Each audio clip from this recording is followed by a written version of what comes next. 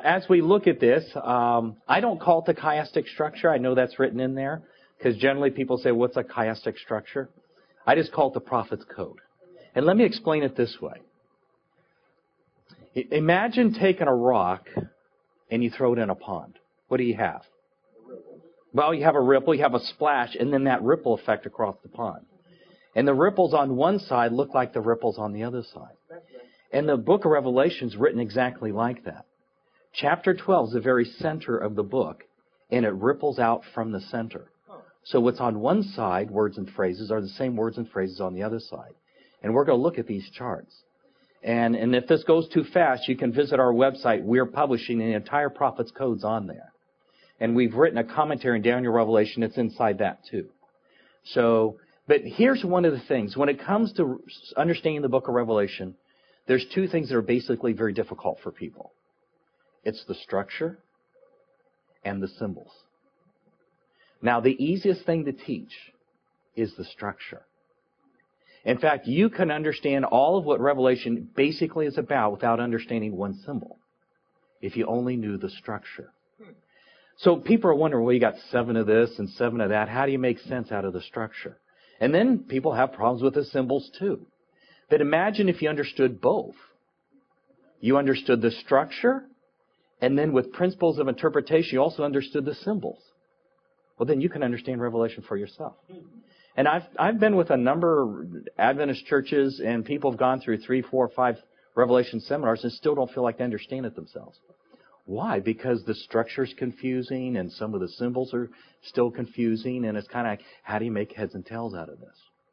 So what we want to do is we want to go through the structure. And again, the prophet's code is like throwing that rock in a pond, and there's a splash. That's chapter 12, the center of the book and everything ripples out from the center. For example, on either side of chapter 12 is chapter 11 and chapter 13. And what you'll see in a chapter, in one of the frames coming up, you have chapter 11, two witnesses, and on the exact opposite side of the center, two beasts. Isn't that interesting? And you'll see in this chart that they have the same description. Hmm. You'll have seven trumpets, chapters 8 and 9, and then seven last plagues on the exact opposite side of the center.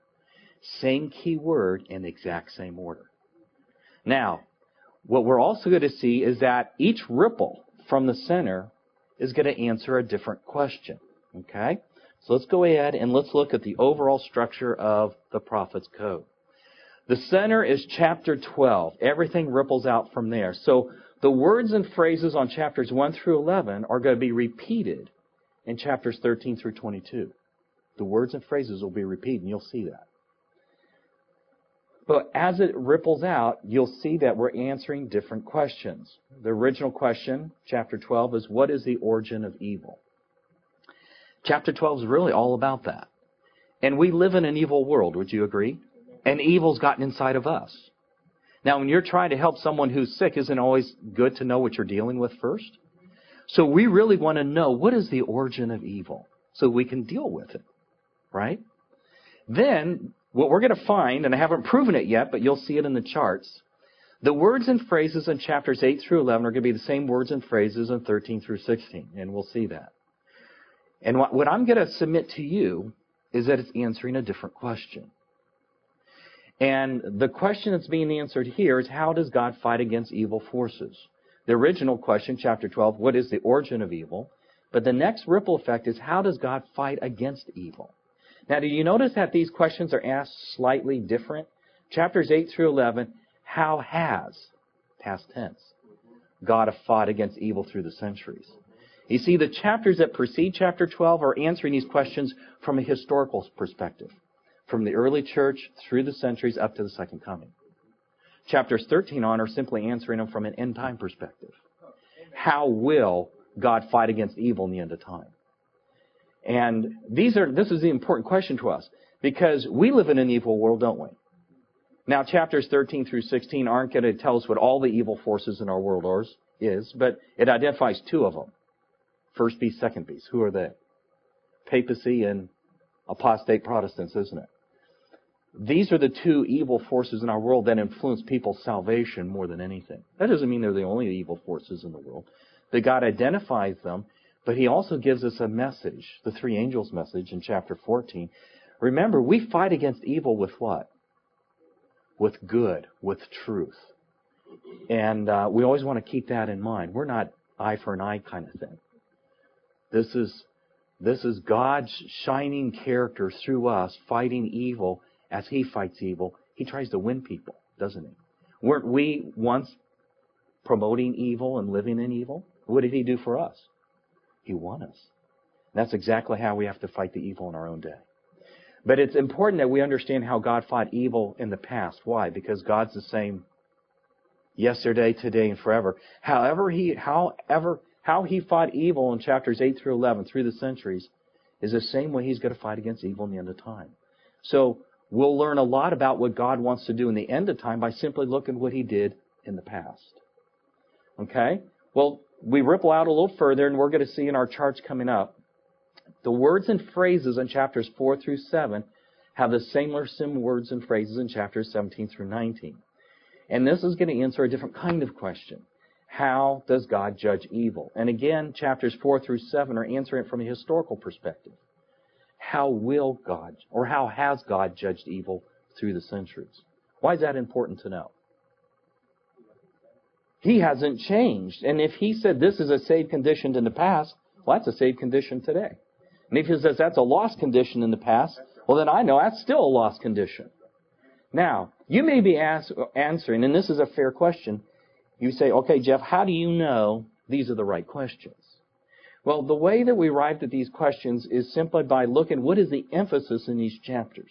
So let's just take chapter 17 through 19 as an example. So, so let's turn to Revelation 17.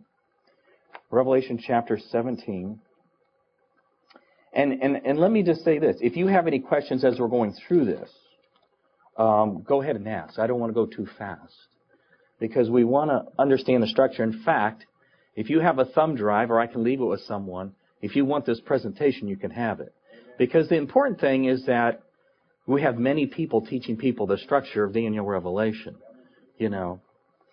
Um, in fact, I just had a friend that just got a website for me called prophecyteacher.com, which would be neat. We're trying to teach people to be teachers. And, and that would be a neat, so as to put up a lot of different information uh, we come together and do that. It'd be a neat thing to promote. Um, so let's look at Revelation chapter 17, verse 1. And there came one of the seven angels which had the seven vials and talked with me, saying unto me, Come hither, and I will show unto thee the what? The judgment of the great whore that sitteth upon many waters. So we really know what chapter 17 is really all about. It's about judgment, isn't it? And we can look at it, even when it, you, there are going to be some verses that don't use the word judgment, but we know we're talking about judgment. For example, look at verse 16, same chapter. And the ten horns which thou sawest upon the beast, um, these shall hate the whore, shall make her desolate and naked, and shall eat her flesh and burn her with fire. Now, the word judgment's not there, but is that a judgment scene? Yeah, she's being judged, isn't she? Um, let's look at verse 8, chapter 18, verse 2. And he cried mightily with a strong voice, saying, Babylon the Great is fallen, is fallen, and become the habitation of devils, and the hold of every foul spirit, and a cage of every unclean and hateful bird. The word judgment's not there, but is that a judgment call? God says you're what? You're fallen, you're fallen. Okay? So if my mom says, Jeff, you're naughty, you're naughty, that means I was really naughty, right? So here is Babylon is fallen, is fallen, right? Okay? If we turn to verse 8 of the same chapter, chapter 18. Therefore shall her plagues come in one day, death and mourning and famine, and she shall be utterly burned with fire. For strong is the Lord God who does what? You see, chapters 17, 18, 19, this is really all about judgment. Let's keep going. Verse 10. Standing afar off for the fear of our torment, saying, Alas, alas, that great city, that mighty city, for in one hour is thy what? Your judgment has come. Isn't that interesting? There is more in chapter 18, but let's go to 19. Verse 2. For true and righteous are his judgments, for he hath judged the great whore, which didst corrupt the earth with her fornication, and hath avenged, that's another kind of judgment word, the blood of her servants at her hands. Verse 11. And I saw heaven open, and behold, a white horse, and he that sat upon him was faith, called faithful and true. And in righteousness he doth does what? Judge and make wars. And so as you can see, as we go through, I didn't make up these questions. The questions come from the text. What is the emphasis of these chapters? That's how we arrived at these questions. We know 17 through 19 we're talking about judgment. Does that mean the same words and phrases that are in 4 through 7 is also about judgment, but just from a different time perspective? It's through the centuries in 4 through 7, whereas in the end of time we realize how will God judge evil in the end. And that's important for us because we want to be on the right side.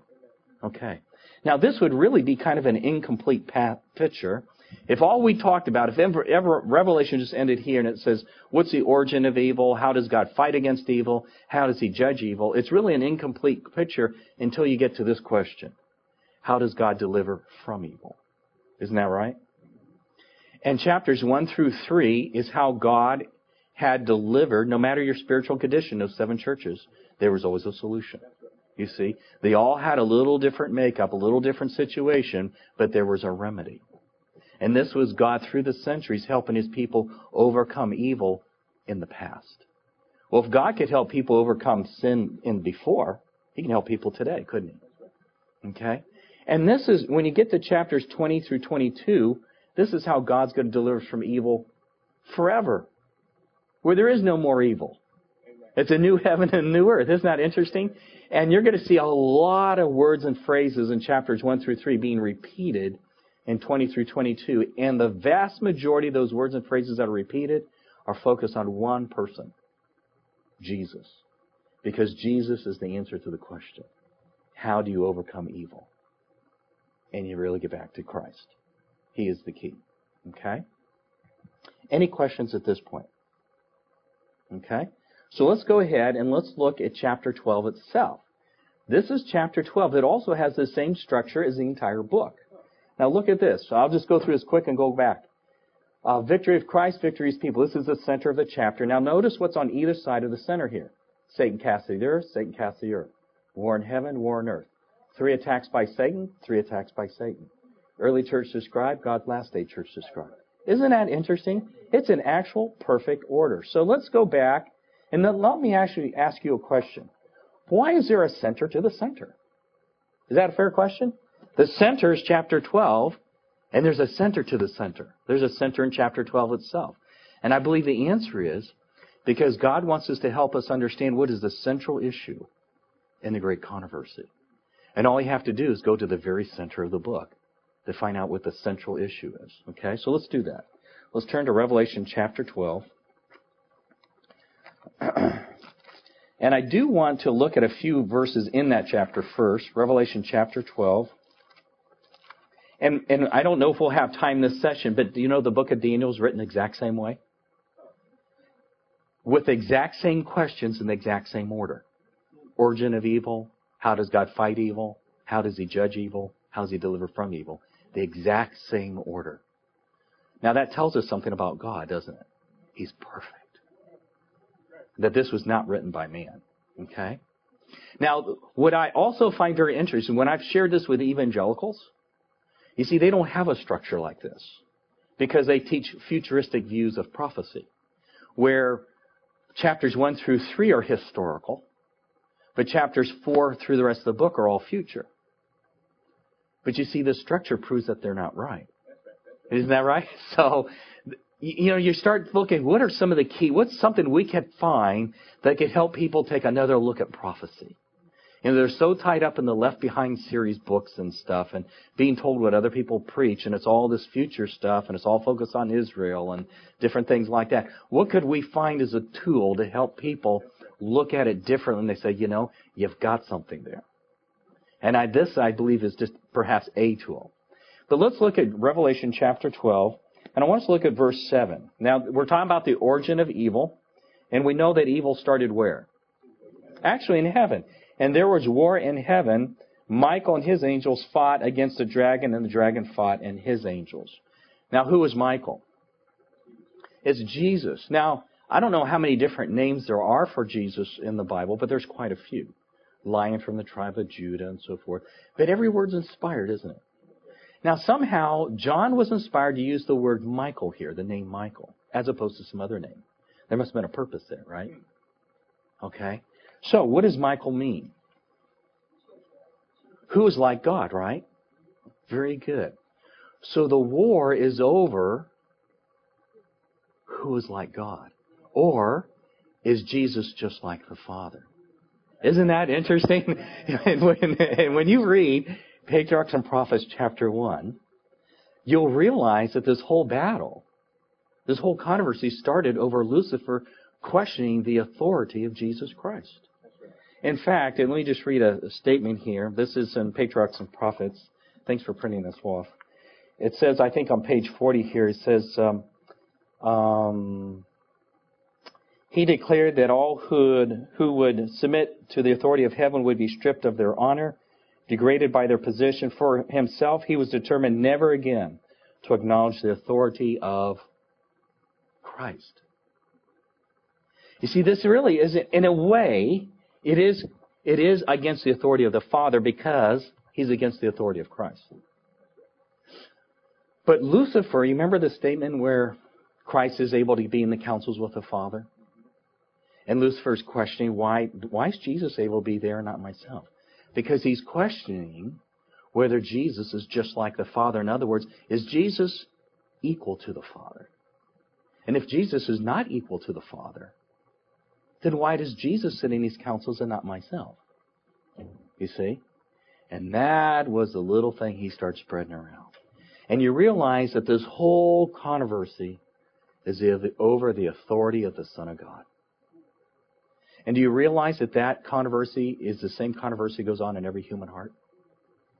What do we do with Jesus? Do we recognize his authority or not? Isn't that what it's all about? You know, the, the issue between taking the seal of God or the mark of the beast is all an authority issue. Whose authority are we going to recognize? That's all it is. We're going to be under somebody's authority. And in some ways, we want to be under our own authority when we just choose to do what we want to do. Right? But we want to submit to the authority of Jesus Christ. But Lucifer got to a point and says, I will never, never, never again says submit to the authority of Jesus. And that's what he wants to do with each one of us. Somehow have enough rebellion in our heart that we choose to be our own God. Isn't that how he started it in the garden? You'll be like God, deciding for yourself what's right and wrong. Okay? So what we want to do is we want to always be searchers of truth of God's Word, having God tell us what's right and what's wrong. And we submit to it. That's the only safe way to go. Would you agree? Now, so let's, I want to turn to another verse here. This is in uh, 1 Corinthians. 1 Corinthians. 1 Corinthians 10, I believe. 1 Corinthians 11, I'm sorry, 1 Corinthians 11. The authority of Christ. Verse 3. But I would have you know, 1 Corinthians 11, verse 3, but I would have you know that the head of every man is Christ, and the head of the woman is the man, and the head of Christ is God.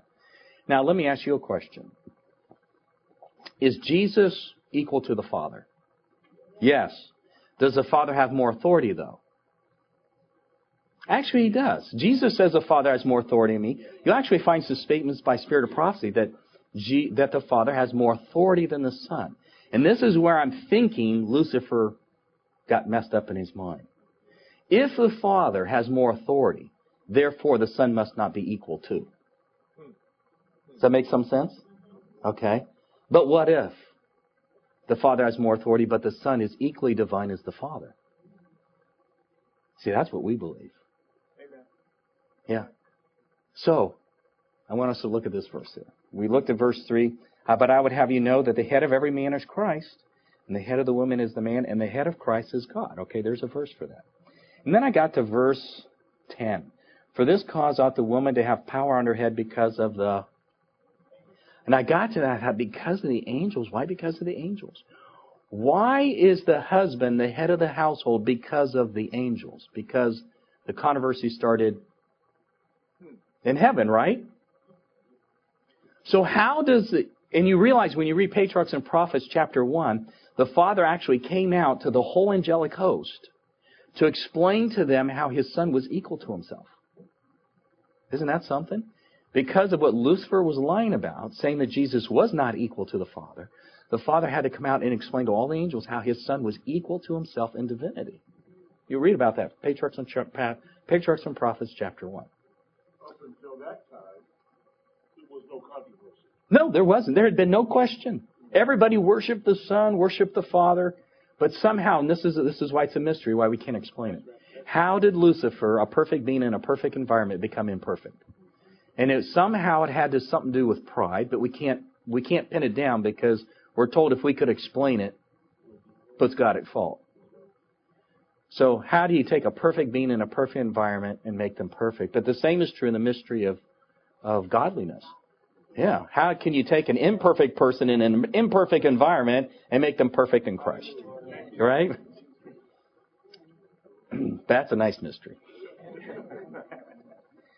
But it says here, because of the angels. And I looked at that verse and I says, well, okay, because this all started up there.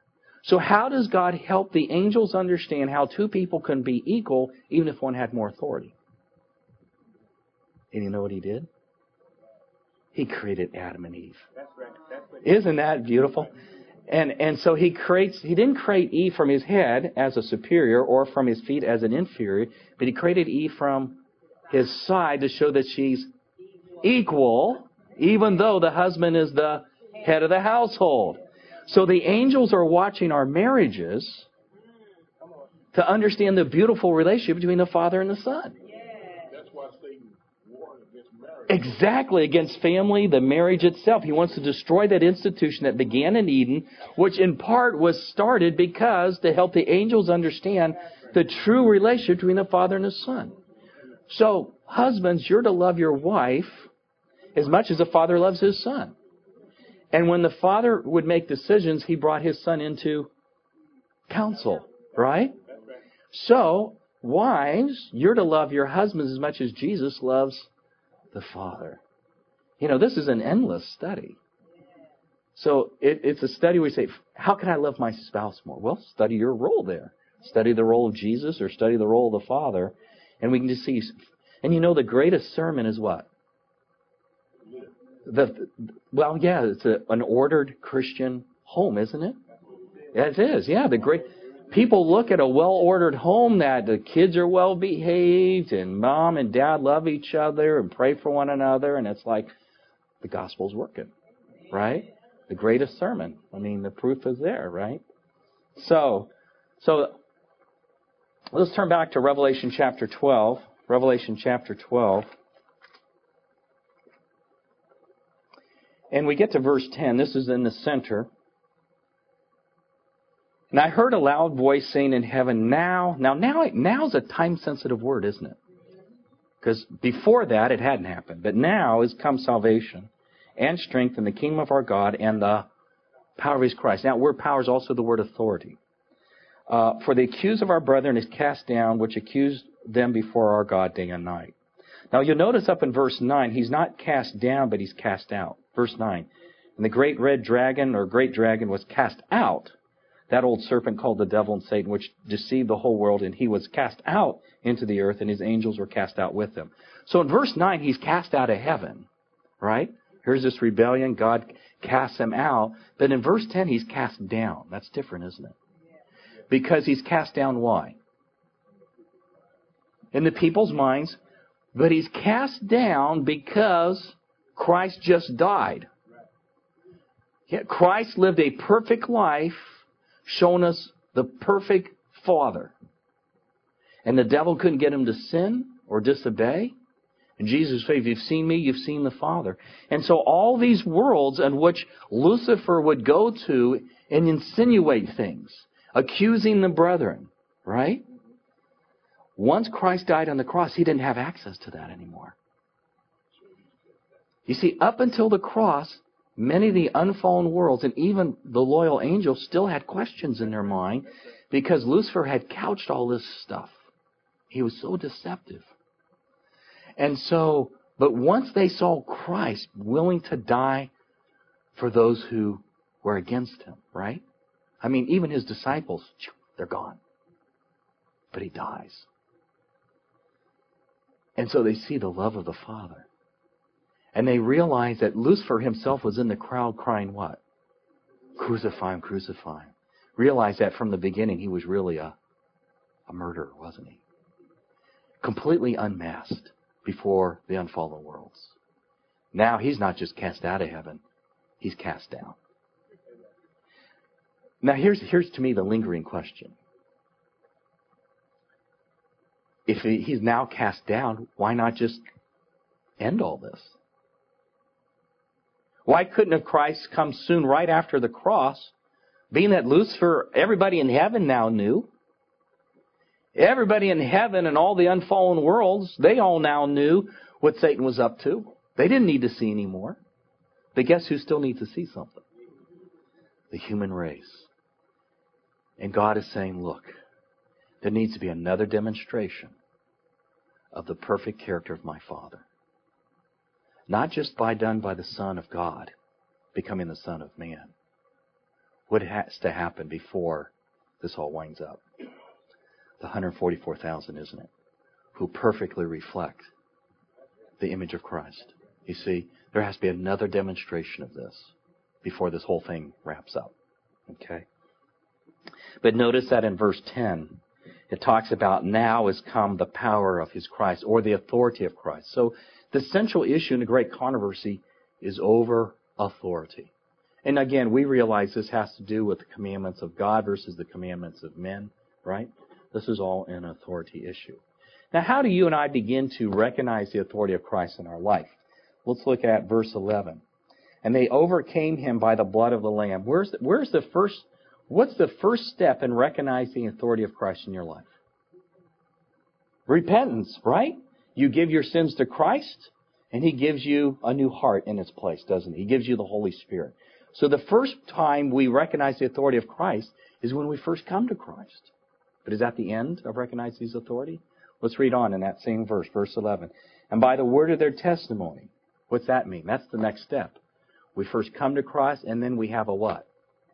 We have a testimony. And in a testimony is evidence, isn't it? Evidence that we're walking with Christ. Evidence that we gave our life to Christ is all part of recognize the authority of Christ in our life. And then the next verse is, and they loved not their lives until the, what's that mean? They've been kept, they keep working on that testimony. They keep following them up until the rest, last day of their life, right? Last days. So, recognizing the authority of Christ means that we always recognize that authority up to the day we die. Even if that would be the reason we'd be put to death, right? Okay. Okay, any questions on chapter 12? Okay. I want us to look at another aspect, and this would be um, these last two ripples. We'll look at Satan's three attacks in the early church described in the next slide. So as we look at verses 3 through 6 and 14 through 17, this is a section about Satan's three attacks. What do you recognize here? How does Satan attack God or attack the truth or attack God's people? What do you see there? What's he use? He uses deception. The first thing we see is deception, and then we also see force.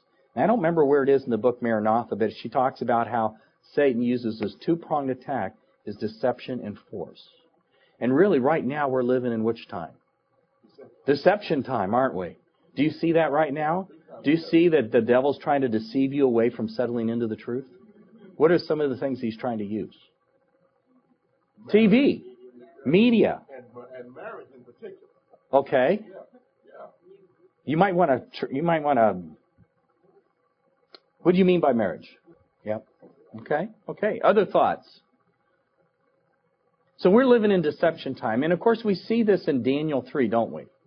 That in the building of the golden image, it was a way of first deceiving people, and then if deception didn't work, they used force. Yes music, which is all part of Daniel 3 there. And if you look at Daniel 3, there's six instruments. And those six instruments are mentioned four times. Which means that the devil's trying to use music, man's music, right? The number six. Or Babylonian music, the number six is associated with Babylon. Babylonian music to deceive people to worship a golden image. Okay? And of course, uh, using uh, leadership people, as we heard in our previous seminar, um, these were all the civil authorities. When all the civil authorities go one way, it just kind of sways the people that way, doesn't it? You see? So they used every way of trying to deceive people to worship the golden image, and when that didn't work, then they used force. And of course, we're seeing that many people are being deceived today from settling into the truth. Okay? Alrighty. Alrighty, so we see that, and then let's look at the slide on the early church described and the God's remnant church described, last day church.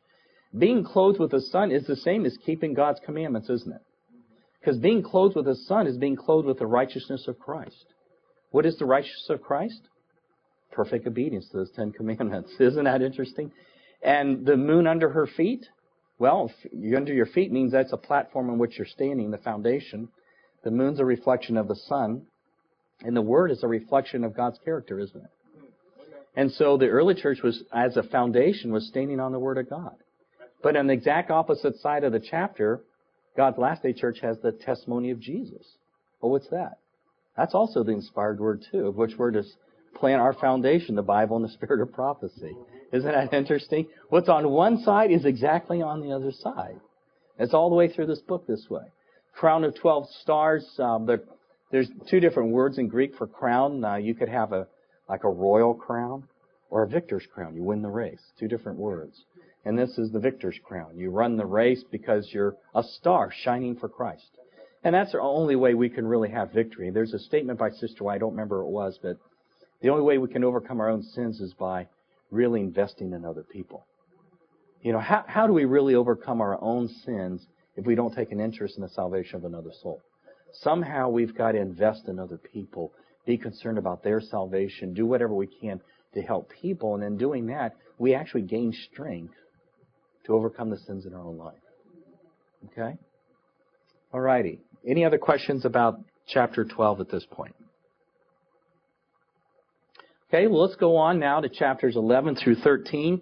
Uh, these are the chapters on either side of chapter 12. Uh, you'll realize that in chapter 11 are the two witnesses, and in chapter 13, the exact opposite side of chapter 12, opposite side of the center are the two beasts. Now, as we go through this, I wanted you to notice that they have the same similar description. Now, notice also that when we're talking about chapters 1 through 11, we're talking about the historical side. So we want to spend a little bit of time talking about how do these two witnesses answer the question, how has God warred against evil forces in the past or through the centuries, right? And in chapter 13, that's on the end time side, the eschatological side, the side where the question's being asked, how will God fight against evil in the end of time? Okay? But let's first just notice that they have similar words and phrases. So we get down to the next point, we find that God empowers the two witnesses. You'll see that in chapter 11, verses 3 and 6. But guess what the dragon does? On the exact opposite side. Who's he in power? Isn't that interesting? God empowers the two witnesses, the Old and New Testament, but the dragon empowers the two beasts. God empowers His Word, and in the end of time, the devil wants to empower the beast. Why does the devil want to do that? Because he really wants people not to look to the Word, the power of the Word, does he? And most people in the world are looking for a sign. Isn't that in Jesus' day, show us a sign, we'll believe in you. And, and the devil's going to make sure that these two beasts are providing all kinds of signs and wonders, isn't it? So as to sway people to believe in the power of these two beasts over the power of the Word. And this is where you and I need to become the people of the Word again. Where we take the Word to the people, because there's power in that Word. And we get people to study the Word. And we base what we believe all in the Word of God. And we get that out to as many people as we can. Okay? Because they're going to be overwhelmed by two, one or two things God's Word or these two beasts. Okay? But when we look at it from the prophet's code, and we realize that chapter 11 is on the side, how has God warred against evil forces in the world? Part of the answer, he's always used his word. How does God fight evil? with the Word. Do you remember Paul when he tried to use persuasion and didn't use the Word? He realized it didn't work. You ever tried to do that? I'm not looking for hands. Try to use your opinion or something like that, and it's not quite the same as a thus saith the Lord. And when Jesus was being tempted in the wilderness, he says, Thus say the Lord. Right? There's power in that word. Now my car's parked out here. Start. Does anybody think my car's running? Oh, come on. There's no power in my word. But if Christ said, start. Right? What a difference, huh? And so, and so there is power in the word, and this is why we need to get back in the word and share the word. Uh, let's look at some more of the, the comparisons here. The two witnesses prophesy for 1,260 prophetic days, right? And the first beast rules for 42 months. Same period of time. Isn't that interesting? Same description. God's word speaks with authority as fire symbolically proceeds out of the mouth of the Old New Testament. And then on Revelation 13, the opposite side, the second beast is able to make fire come down out of heaven. What you find on one side, you find on the other side. It says here, those who oppose God's word will be killed. That's verse 5, chapter 11. But look at those on verse chapter 13, verse 15. Those who oppose the worship of the beast will be threatened with death. Same basic concept, isn't it? God's word has power to withhold rain. The second beast is able to withhold economic trade.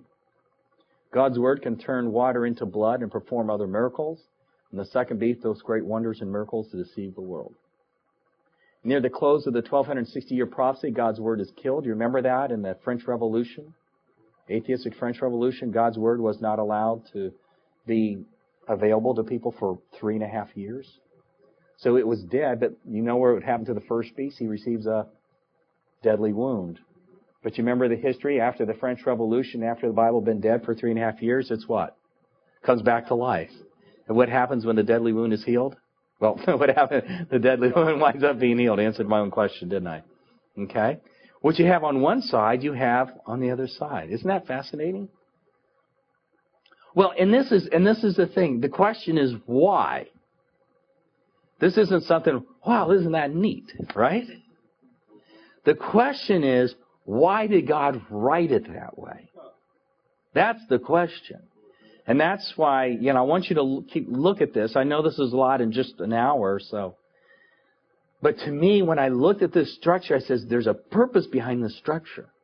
There's a reason why the words and phrases in 8 through 11 are the same words and phrases in 13 through 16. Somehow God's tying these particular chapters on either side of the center together. It's not that it's the same words and phrases in 8 through 11 and then 20 through 22. It's the same words and phrases on the exact opposite side. Why does God write it that way? Is he just a stylish writer? Or is there a purpose? Yeah, there's a purpose. He's saying, okay, these particular chapters are tied together, and I want you to study. You ever find that out that God wrote the word in a way that He purposely made it so we had to dig? It does take effort, doesn't it? Okay? So, if we go back to 13, so we, we answered kind of the question, what, what, what do we learn from chapter 11? How God has warred against evil through the century? He uses the word. He uses truth. What else are you to use? Right? So in chapter 13, when it's talking about how will God fight against evil in the end of time, what do we learn about 13 in the answer to that question? How will God fight against evil in the end of time? Chapter 13. Well, basically in 13, he's at least identifying the two powers we're fighting against. First beast, second beast. Now we can keep our eye on our Iran. We could be very interested in the economy. We could be interested in North Korea, right? But boy, if you ever got to keep your focus on any evil forces in the world, what you're really particularly interested in is what is the papacy up to and what are apostate Protestants up to. I mean, when you look at Revelation 13, now that's, those are the two superpowers on the evil side. When you look at the book Great Controversy, these are the two powers.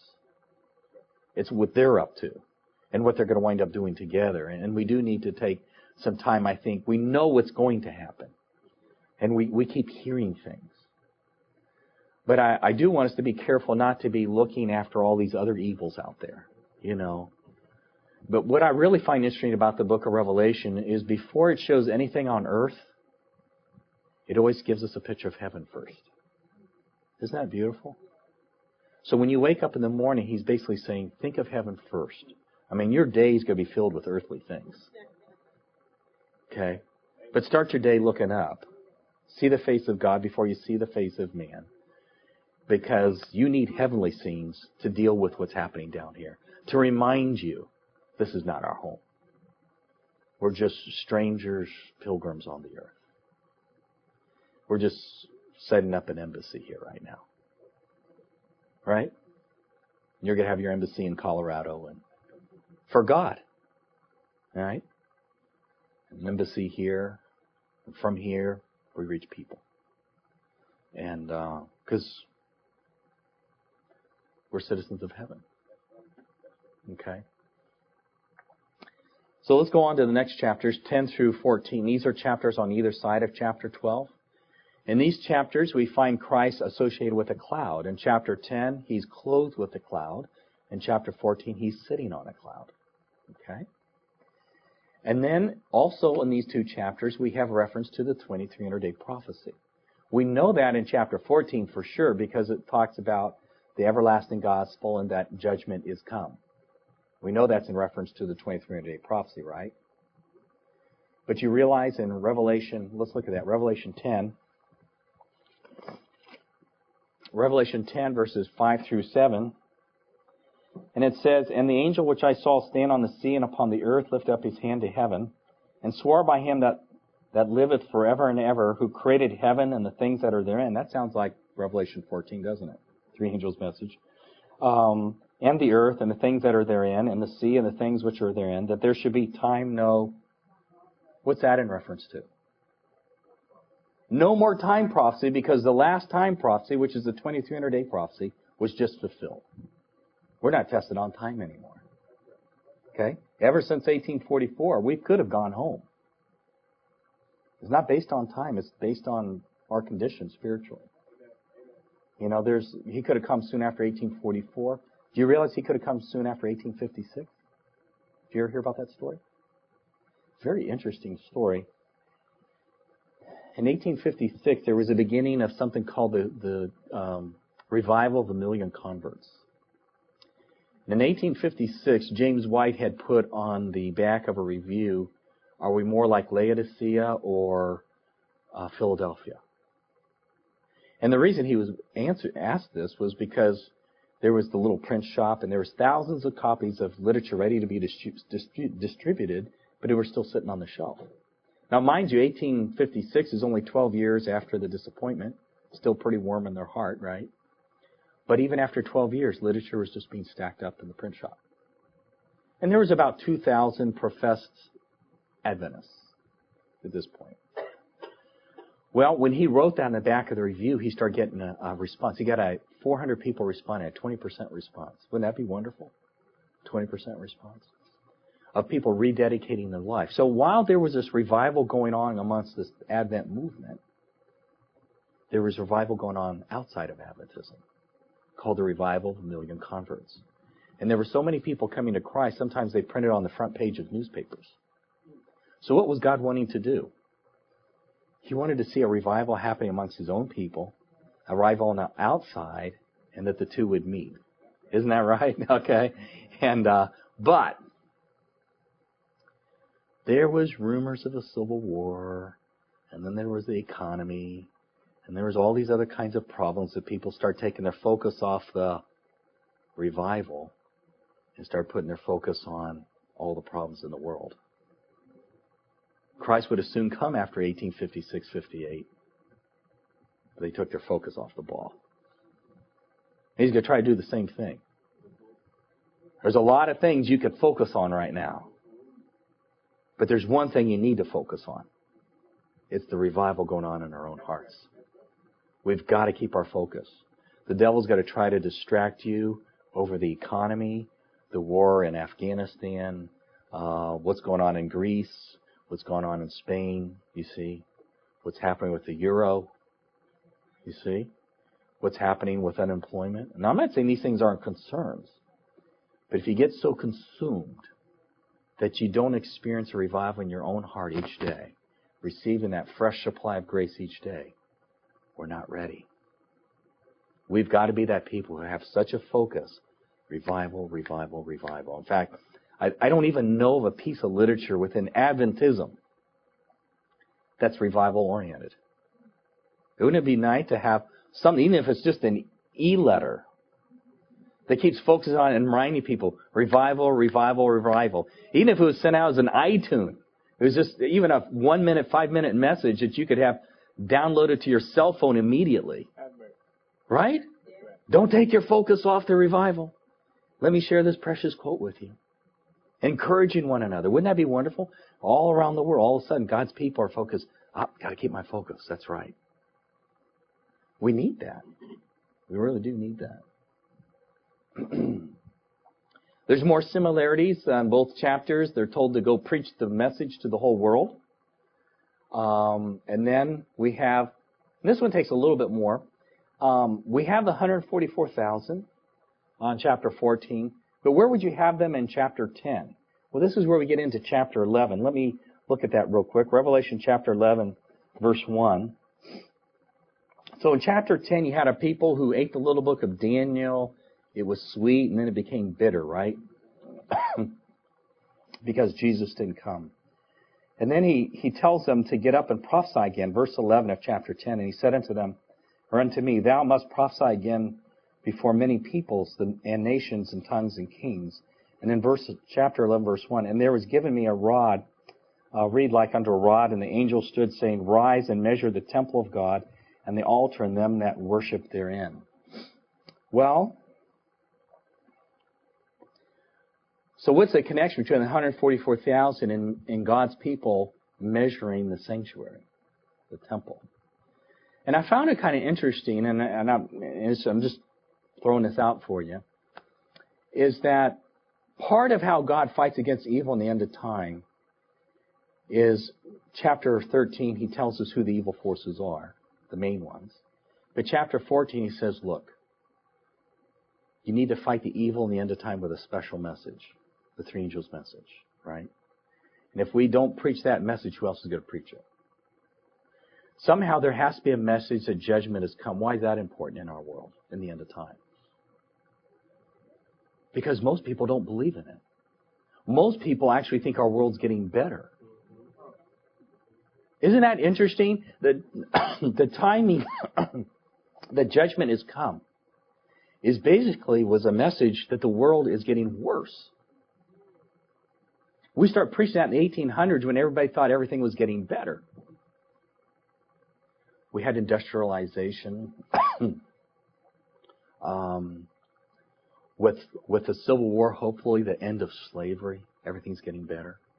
They sing the song, my eyes have seen the glory of, you see, in the middle of the 1800s, they believed that they were ushering in the long awaited millennium. You know, before industrialization, people farmed the same way for thousands of years. Used either ox or cattle. Went to town the same way. With industrialization, things started changing. Everybody thought, the world's getting better. And then we start preaching the message, oh, God's got to come here and burn it up with fire. What? Everything's getting better. Why is he going to do that? And so we live in this world in which we're preaching this message that judgment has come when everybody says, wow, did you get the last iPad? Isn't that great? And we're saying it's getting worse and they're saying it's getting better. There's more freedom today. Look at Arab Spring. But you know we have to point to? Yes. Well, you know, it's a very good thing that you're raising here about people not believing in the soon imminent return, personal return of Christ. Because that's why people, by and large, rejected Adventism in the middle of the 1800s. They really didn't believe in the soon imminent personal return of Christ because they believed they were just ready to usher in this thousand years of peace. And, and we really are one of the few people who still believe in the personal imminent return of Jesus. Um, but we've got to preach this message and um, and and preach it around the world at a time when most people aren't looking for a judgment. They're looking for a stupendous crisis. They know things are happening. They're not sure. But people aren't really looking for a judgment. Okay. Well, the connection here, I believe, between 144,000 and those who measure the temple is in, in 1844, our people went from the holy place into the most holy. Now, 144,000 is 12 times 12 times 1,000. Right? 12, they're part of God's kingdom, times 12, they're a special part of God's kingdom. Wouldn't you agree? Times 1,000. Well, what's 1,000? If 144 is 12 times 12, 1,000 is 10 by 10 by 10. Do you know there's only one thing in the Bible that's 10 by 10 by 10? It's the most holy place.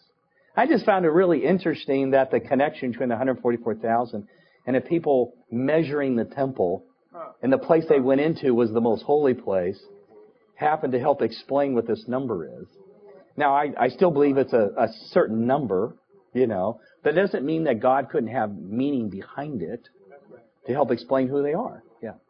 Uh, so, how does God fight against evil through the centuries? Well, chapter 11, he uses his word. In chapter 10, he uses people.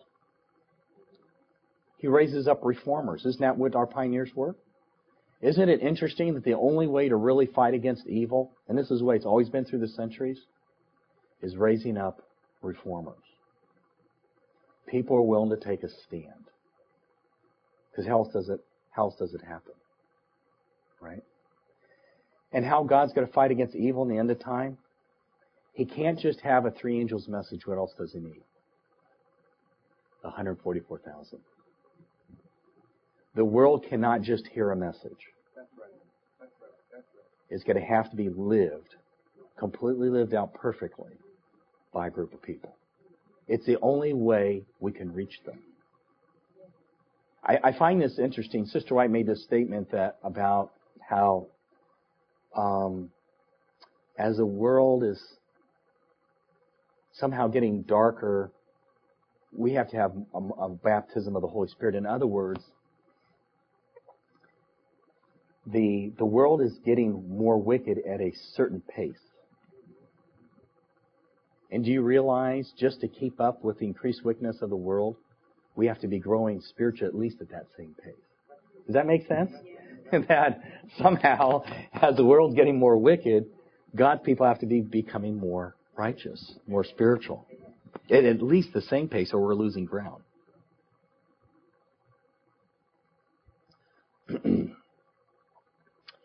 Chapters 8 and 9, seven trumpets, seven last plagues. How long do I have here? Am I okay still? Okay. Is it three up to 3:30? Was it? Okay.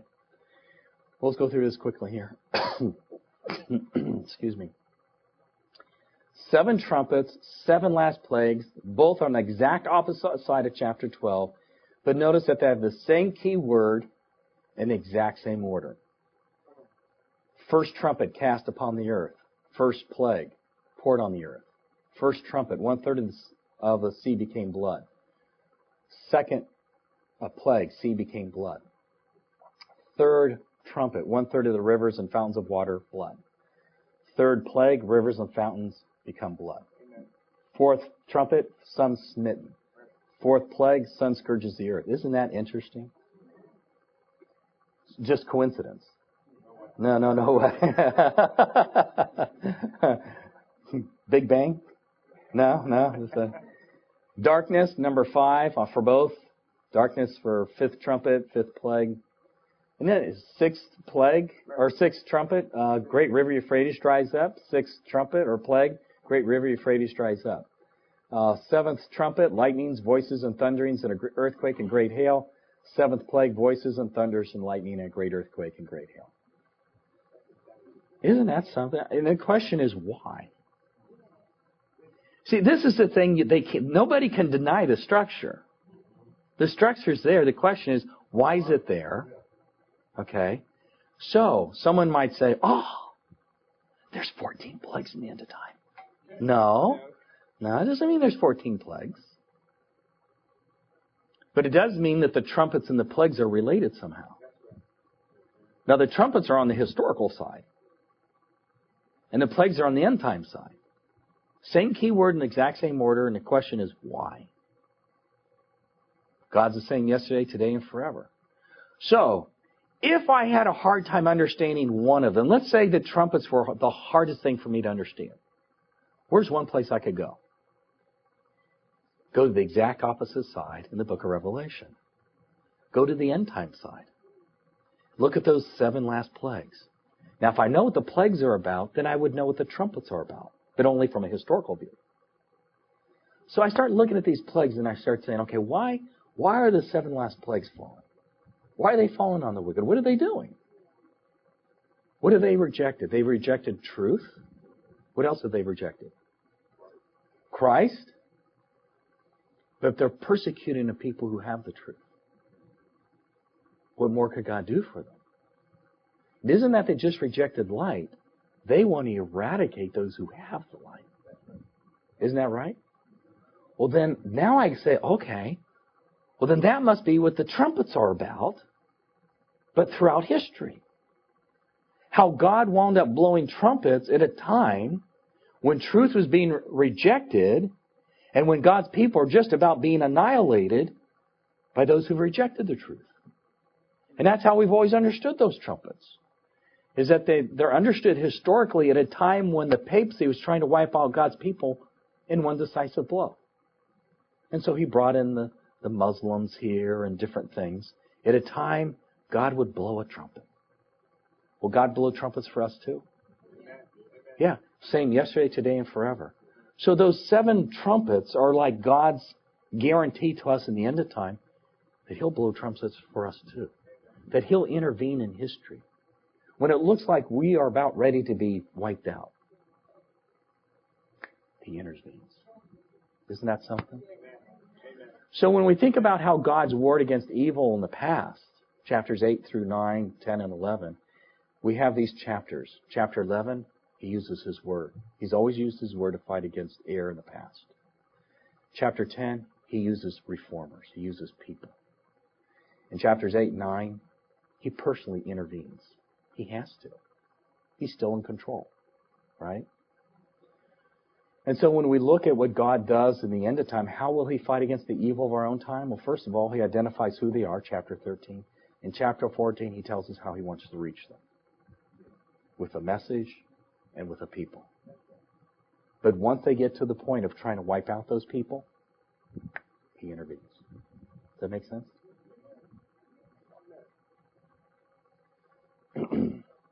Chapters 4 through 7, chapter 17 through 19 have similar words and phrases. Um, and now we're into that different ripple effect about how God judges evil. How has he and how will he? And we looked through 17 through 19. We looked at how those chapters really talk about judgment. Let's just look at some of the similarities between these sections. Uh, in both these sections, we have the four living creatures and the 24 elders. We have Jesus described as he who was, is, and is to come, but the beast is described as he who was and is not and yet is. There's a book with seven seals, and on the other side, the book of life. Both are actually visible, visible uh, prophecy, visual, uh, chapters uh, in the first section, it talks about come and see. And in chapter 17, come hither and I will show unto thee. Uh, the seal of God in the saints of the foreheads. The name of Babylon is on the forehead of the harlot church. Very similar words and phrases, isn't it? God's people are slain for the word of God, and the harlot on the other side, opposite side, is drunk with the blood of the saints. The saints cry out, How long dost thou not judge and avenge our blood on them that dwell on the earth? And then on the opposite side, God is actually avenging the blood of the saints. We have a great multitude redeemed that's seen in heaven and a great multitude of redeemed seen in heaven. Point 10. the white robes of the saints were washed in the blood of the Christ. And on the opposite side, the saints are dressed in fine linen, which represents the righteousness of Christ. Whatever you have on one side, you have on the other side. Okay? Now, the question is how do we know how God judged evil in the past? And if we turn to Revelation 6 just quickly, and you'll want to study this further on your own, because we want to kind of get into the next section too. Is is I I do understand historically that in chapter six you have the white horse and the red horse and the black horse and the pale horse and then you got a fifth seal and a, and a sixth seal. And even though I do believe those represent different epics in church history that we're going through early church and then the next phase all the way up through till the second coming of Christ. These horses though still represent spiritual conditions. Now notice the saved condition, which is this first one. I saw and behold a white horse, and he that sat on him had a bow, and a crown was given his hand, or given unto him, and he went forth conquering and to conquer. Now what do you see in that? In the Bible, what does white represent? Purity. Okay? And so he's riding a white horse. He's riding upon purity of doctrine, isn't he? Now, who's the rider? Okay? So Jesus has to be the one leading. Okay? Now, when you look at the other horses, Jesus isn't the one riding the horse. Isn't that something? So, as soon as Jesus isn't the one leading, you start getting into these different colors.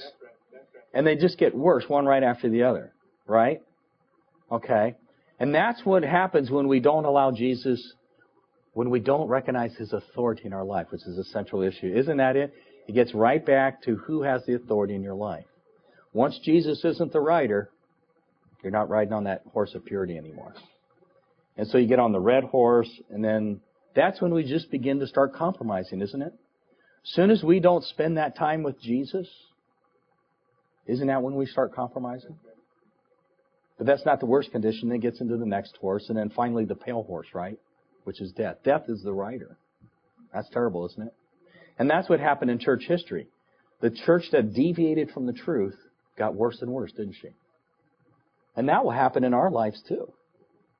Once we start deviating, you probably witnessed that in people's lives who left the truth.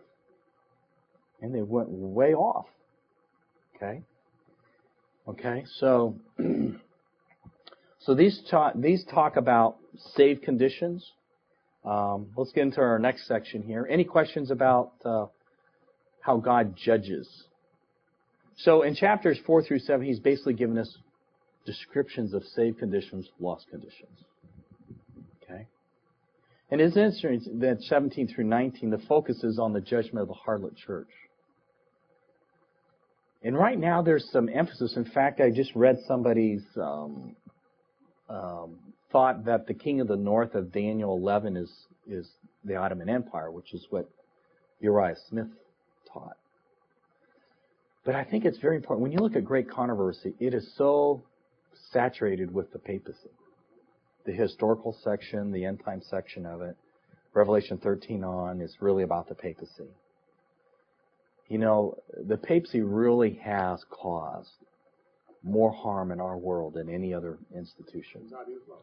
Yeah. It's not Islam, it's the papacy. It is the papacy. Yeah, yeah. Well, let's look at this real quickly. Revelation 1 through 3, 19 through 22. In the chart I had 20 through 22, but there are some words and phrases on 19. And this is a section about how will God deliver us from evil. I want us to see how many words and phrases are repeated in both sections. And then be, focus on where the focus is, what it predominantly is on. I, John, right, right, testimony of Jesus, King of Kings, faithful and true. Who are we talking about? His eyes is a flame of fire. Out of his mouth went a two-edged sword, rules with a rod of iron, Alpha, Omega, beginning and ending, first and last, morning star, behold I come quickly, for the time is at hand, New Jerusalem, um, things that he'll show unto his servants. Blessed is he who readeth. tree of life, tree of life. Gotta fix that up. He that overcometh, even so, amen. Um, the focus of chapters 1 through 3 is these seven churches, different spiritual conditions, and God has a remedy for each one. And let me just tell you how valuable it is. I actually thought of writing a book, and maybe somebody here wants to do that. Take the seven churches, seven different spiritual conditions, and God's solution. In other words, God's trying to teach us how to help one another shine brighter for Christ. You see, each church is, is described as a candlestick. Candlesticks are to shine. So God takes look, each each spiritual condition. He says, you know something? It doesn't matter where you are, what you've done. You can shine brighter, right? And here's a solution for you. And I looked at Ephesus. Ephesus was a church that was conservative. They preached the truth. They didn't like people who didn't preach the truth. And, and yet he said, you, you you have a diminished love. You lost your first love. And I remember where I was working this one place, and um, there was a nurse there, and she was very conservative and very hard worker. But boy, she was just rough with people, you know. And I thought, you know, she's kind of like Ephesus. I'm going to try this. and I, I, looked at what God said to Ephesus, and what He said to Ephesus is He starts starts off saying something He likes about Ephesus. So I said something to her about what I liked about her, and then God said to Ephesus, "Now this is something I'm concerned about." So I said, "I'm kind of concerned about this." And then and then He says to Ephesus, "You know, if then He goes back and says something nice about him." So then I went and said something nice to her, right?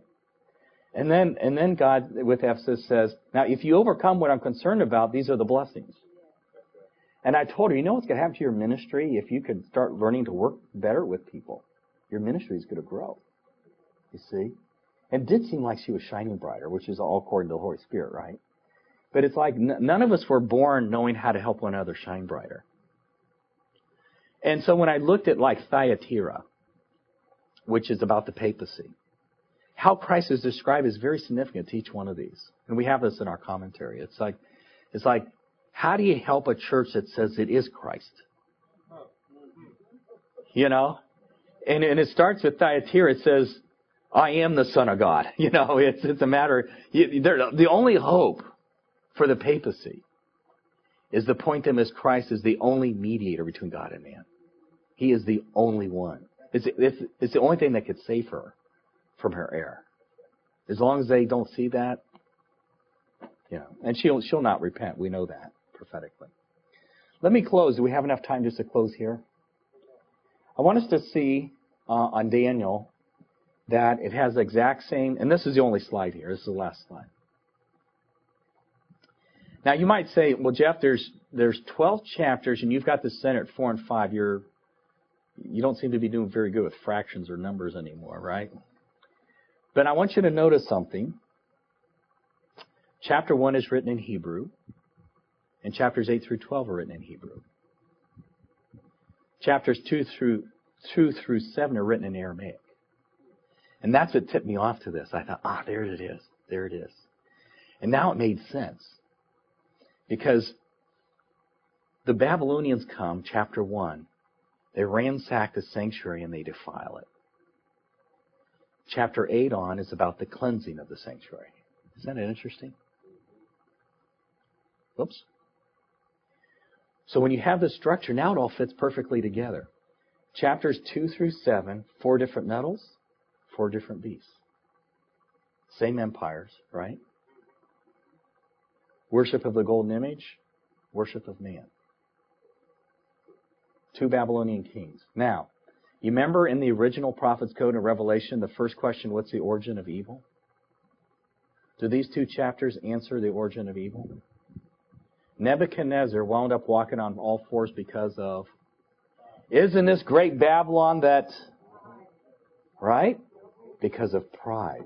And when you read Patriarchs and Prophets chapter 1, it will use words like pride, discontent, jealousy, different words that point to, that gives us a little understanding how even Ezekiel and Isaiah talk about how somehow because of his own beauty, he looked at himself as if somehow he could attribute who he was to himself. He didn't give God the credit for all the powers that he had. Somehow he looked at his own beauty and that corrupted him. But I want you to know that this also teaches us about the central issue in the great controversy. Let's turn to the very center of 4 and 5 of Daniel.